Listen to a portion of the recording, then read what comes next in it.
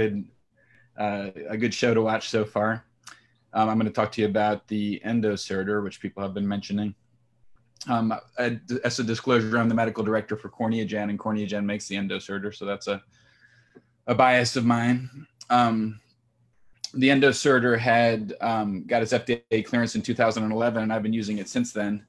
I was using it before my association with um, CorneaGen, and probably that's how one of the ways I got my association with CorneaGen, I guess. Um, and it's and right now it's the most used device in the United States for um, for DSEK. Uh, and here's a picture of it um, over here on the on the right, uh, a top view and a bottom view. Um, and and uh, I'll just kind of go down this this uh, column over here and say some pluses and minuses about it. The, the biggest minus of it, of course, is that it's a single use device and it's expensive. And then I think really that's that's kind of the only minus of it. If it were cheap and you could use it more than once, I think probably everybody would be using it for everything. But um, it, it goes through a, a relatively small uh, clear corneal incision.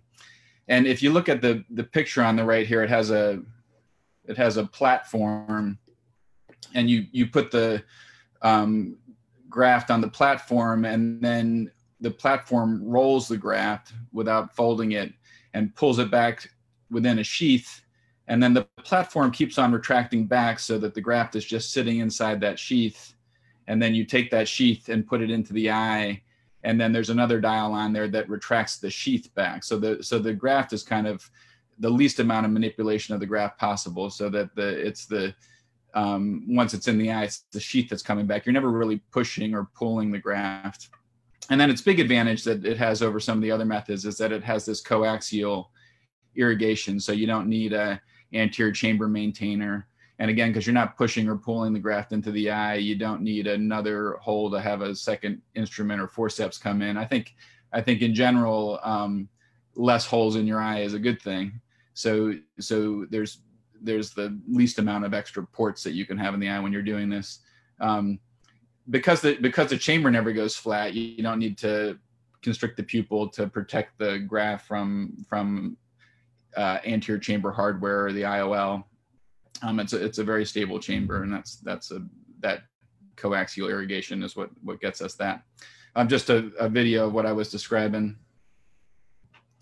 Um, here you uh, pull the graft up onto that platform, and then that platform's gonna um, gonna roll the tissue. I'll get it back into the view here in a second.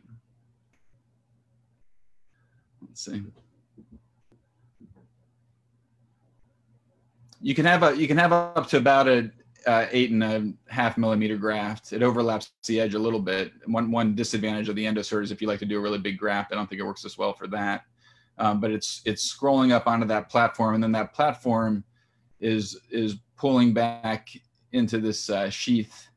You know, there's lots of good studies out there that show that that the place where the endothelium is getting its most damage is when you're compressing it through the wound and the and having the graft totally enclosed inside this um, sheath protects it from the wound when you're inserting it.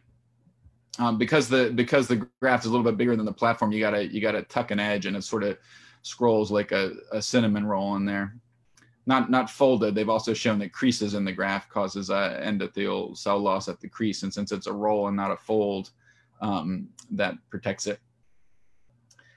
And then uh, um, inserting the device or here it's you know it's got it's got a bevel just like an IOL uh, injector would, so it goes in nicely through a through a four millimeter um, clear corneal wound is what I like to use.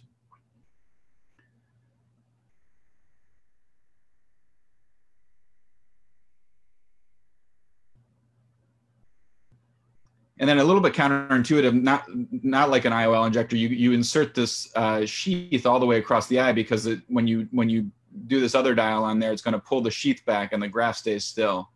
So so it looks like you're pushing it in. You're not. It's already in there, and the sheath is just retracting.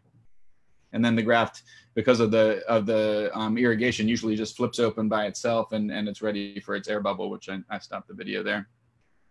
Um, and then and then you know the where where I really think the EndoSerter shines is is the fact that that we know now that thinner DSEKs do better than thicker DSEKs, and and um, and what some people have already mentioned is that the um, thinner DSEKs, especially these nano thin ones, um, have less rigidity than the than the thicker DSEKs, and and um, and with the EndoSerter, um, the the thin tissue behaves a lot like the thick tissue. I don't really have to alter my technique much at all when I use the EndoSerter. And I think with some of the other methods of insertion, the thin tissue is particularly um, uh, more difficult to um, insert at times, just because of because it's um, uh, less because it less less wants to spring open. So I, I really like having that EndoSerter for thin tissue, and the and the data on thin tissue now is is that at a year the visual acuities and um, approach that of DMEK. And so I think if you have a there there were there are people that are pushing the envelope on when they might do DMEK surgery, and I think DSEK still has a role for those because that thin tissue can get uh, real comparable results. The EndoSerter doesn't work very good for thick tissue